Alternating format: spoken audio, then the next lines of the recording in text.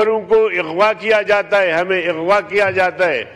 तो यकीन जानिए, मैं खुले अल्फाज में कह सकता हूँ और बता सकता हूँ या बता रहा हूँ आपको कि अगर हमारे हमारे जिस्म के टुकड़े टुकड़े कर दिए जाएँ, हमारे गोश्त के टुकड़े टुकड़े कर दिए जाएँ, पर अगर हमसे जबरी वोट मांगा जाएगा तो नहीं मिलेगा वोट, नहीं देंगे वोट।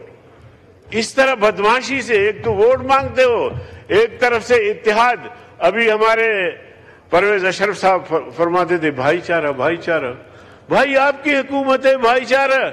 किससे आप कह रहे हैं भाईचारा? भाईचारे की फिजा तो आप कायम करें। आपकी हुकूमत है, सदर पाकिस्तान आपका है। वज़ीर आज़म है, आप सब इतिहादी हैं।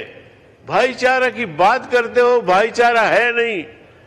तो ये इंतहाई शर्मनाक है। मैं शदीद मजम्मत करता हूँ हुकूमत के इन इकदाम की कि एक तरफ़ वो मुजाकरात भी कर रही है और दूसरी तरफ़ हमारे मेम्बरों को अगवा भी किया जा रहा है।